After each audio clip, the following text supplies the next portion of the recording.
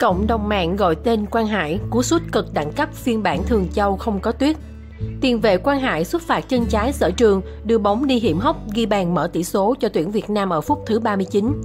Cảm giác nuối tiếc sau thất bại 2-3 trước Iraq ở trận ra quân nhanh chóng biến thành lo lắng với người hâm mộ bóng đá Việt Nam khi chứng kiến những ngôi sao vàng thua tâm phục khẩu phục ứng viên vô địch Iran. Nhưng với việc có 4 đội xếp thứ ba sở hữu thành tích tốt nhất được giành vé đi tiếp, cơ hội vẫn còn rất rộng mở với thầy trò huấn luyện viên Park Hang-seo. Đội tuyển Việt Nam nhập cuộc bằng những pha phối hợp ở cự ly trung bình khá tự tin. Trong khi ở phần sân đối diện Yemen cũng không cho thấy sẽ chơi phòng ngự phản công, đơn giản bởi đây là trận đấu mà hai đội buộc phải thắng. Cả hai đội đều đang chơi khá khẩn trương và quyết liệt. Hơn 30 phút trôi qua nhưng tuyển Việt Nam vẫn chơi khá bế tắc, chưa có tình huống tấn công thực sự sắc nét được các cầu thủ áo đỏ tạo ra. Đến phút thứ 39, từ chấm xuất phạt cách khung thành chừng 25m, Quang Hải tung cú sút phạt đẳng cấp đánh bại pha bay người trong bất lực của thủ thành. Sau màn mở tỷ số quý hơn vàng, người hâm mộ Việt Nam đồng loạt gọi tên cầu thủ Quang Hải. Từ quả đá phạt, Quang Hải vẽ siêu phẩm vào góc gần, đưa Việt Nam dẫn lên trước. Cú sút lịch sử Thường Châu phiên bản không có tuyết. Người hâm mộ đồng loạt gọi tên Quang Hải. Vẫn là trọng tài đó, vẫn là tình huống công phượng bị phạt lỗi, vẫn là Xuân Trạng và Quang Hải đứng trước bóng, vào một siêu phẩm cho Quang Hải. Cú xuất phạt đẳng cấp của Quang Hải trở thành điểm khác biệt duy nhất giữa hai đội trong 45 phút đầu tiên. Dù có thể giành vé đi tiếp hay không, ASEAN Cup 2019 vẫn là giải đấu những ngôi sao vàng, để lại ấn tượng về một tập thể trẻ trung, giàu khát vọng. Những văn lâm Duy mạnh, Quang Hải Công Phượng vẫn xứng đáng nhận những lời khen cho tinh thần chiến đấu quả cảm, không biết e sợ trước bất kỳ đối thủ nào.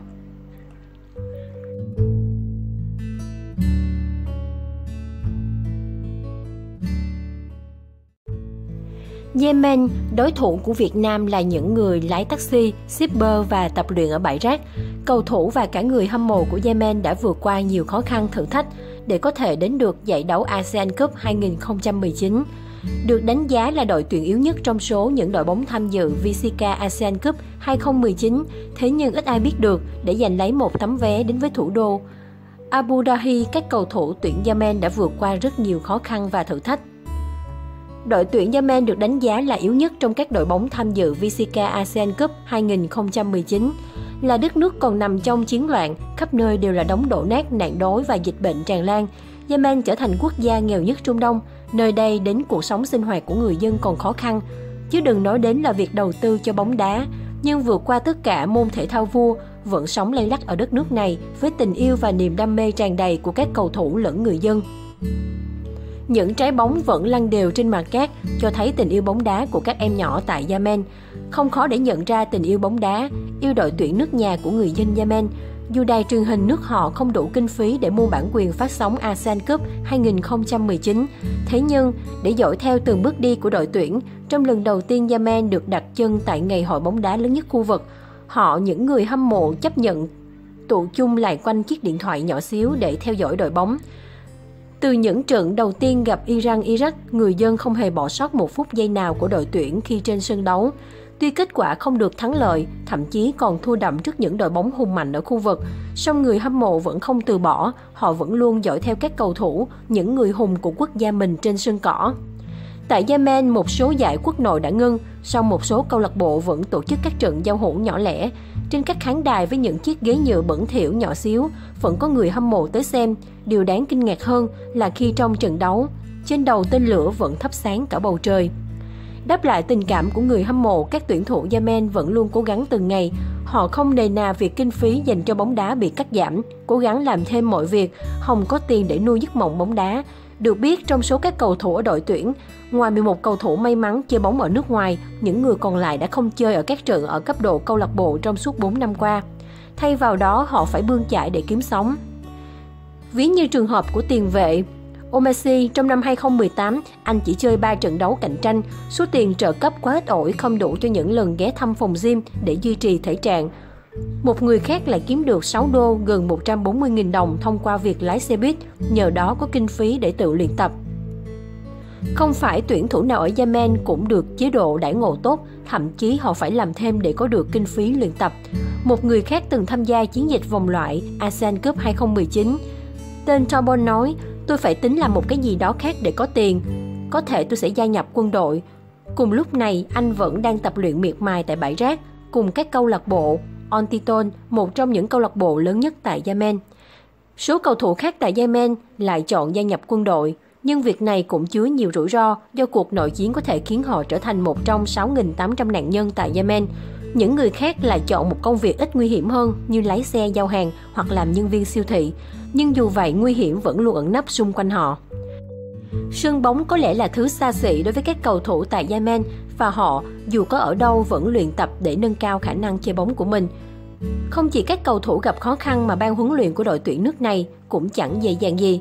Huấn luyện viên Abraham đã bỏ việc chỉ sau 3 tháng vì vấn đề tài chính khan hiếm. Ngay sau đó, Jan Kopchen cũng được bổ nhiệm nhưng ông này kiên quyết không tới Yemen và chỉ làm việc với đội bóng ở bên ngoài nước. Huấn luyện viên có lẽ sẽ rất tự hào về các học trò của mình khi họ vượt qua nhiều khó khăn để đến với đấu trường châu lục. Vượt qua mọi khó khăn, Yemen vẫn tìm được cơ hội cho mình tại VCK ASEAN Cup 2019. Dù biết chiến thắng là không dễ dàng, song với tình cảm của người hâm mộ ở quê nhà, các cầu thủ vẫn luôn nỗ lực hoàn thiện giấc mơ đó, cũng giống như Kyoken đã nói về đội bóng mà mình đang dẫn dắt. Tôi biết Yemen là đội yếu nhất bảng, nhưng trong bóng đá, một đội bóng nhỏ cũng có thể mơ về chiến thắng lớn. Chúng tôi ở đây chỉ để chứng minh năng lực bản thân. Vào hôm nay ngày 16 tháng 1, đội tuyển Yemen sẽ đối đầu tuyển Việt Nam trong trận đấu cuối cùng của vòng bảng ASEAN Cup 2019. Cả hai đội đều có quyết tâm cao, mang niềm vui về cho người hâm mộ bóng đá nước nhà. Và dù kết quả có ra sao, hãy vẫn luôn yêu thương đội bóng nước nhà, bởi họ đã chiến đấu hết mình vì màu cờ sắc áo. Mỗi cầu thủ đều cố gắng vì đất nước, vì màu cờ sắc áo, bởi vậy người hâm mộ hãy cổ vũ hết mình, ủng hộ đội tuyển, dù họ có thắng hay thua nhé.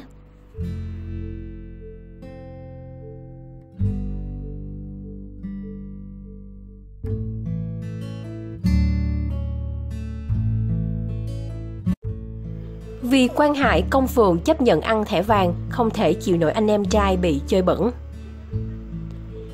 Thấy đồng đội nằm sân, công phượng không giữ nổi bình tĩnh.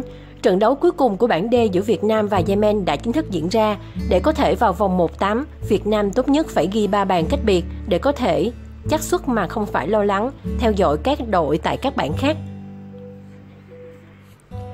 Trong trận đấu có rất nhiều thẻ vàng được rút ra cho đội Yemen và có một thẻ của Việt Nam dành cho công phượng bởi lý do bất khả kháng.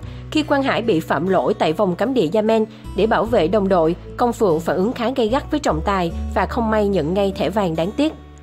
Quang Hải bị cầu thủ đội bạn phạm lỗi cao chân đạp vào phần bụng của anh, tuy nhiên trọng tài lại không thấy được.